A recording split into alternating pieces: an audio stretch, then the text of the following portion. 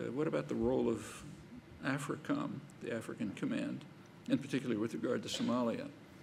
Uh, well, actually, here, uh, some journalists like uh, Johann Hari of The Guardian have done a good job in exposing large part of what actually happened in Somalia.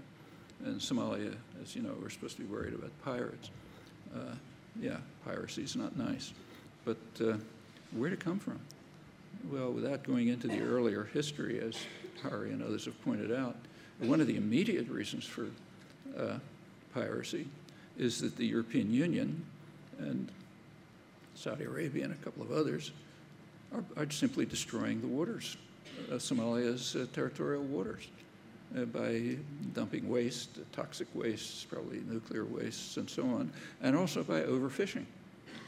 Okay, what happens to the fisher, you know, the fishermen in Somalia? Okay, become pirates. Uh, and then we're all upset about the piracy, you know, not about having create a, created a situation where there aren't a lot of options. And if you go back like a year or two further, you find more.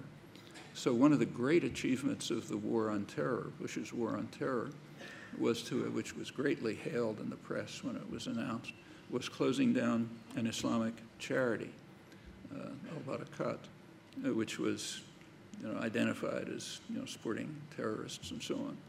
Okay, turned out that a couple of months later, the government kind of quietly recognized that they were wrong, and the press may have had a couple of lines about it. But meanwhile, it, it, it uh, was a major blow against Somalia.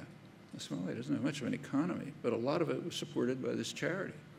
Uh, not just giving money, but running banks and businesses and so on. It was a significant part of the economy of Somalia, closing it down, pulled the props out from under that, and is another uh, contributory factor to the breakdown in a very weak society.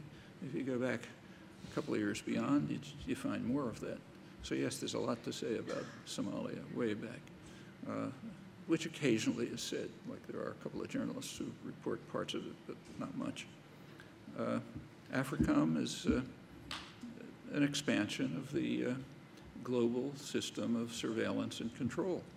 Uh, it, the United States, it's not 1948 when the U.S. wasn't interested in Africa and was happy to hand it over to the Europeans to exploit.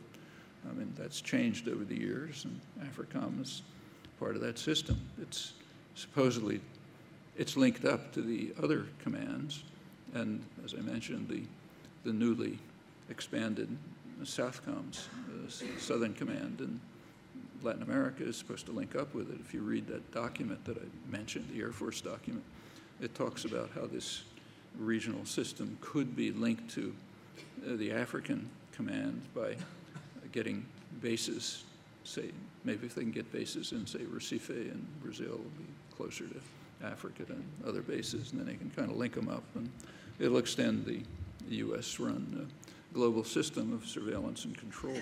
That's the role of Africa. Uh, what about shift of the center of empire to other parts of the world?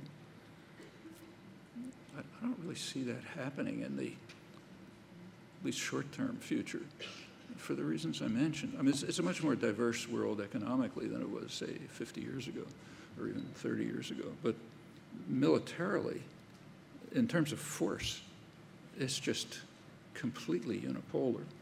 I mean, I mentioned some of the figures, but uh, the U.S. just dominates the whole world militarily and is helped by, you know, it's Britain and other major military powers. There's just no competitor to that nexus and none seemingly arising. Oh, okay, I got to stop. Uh,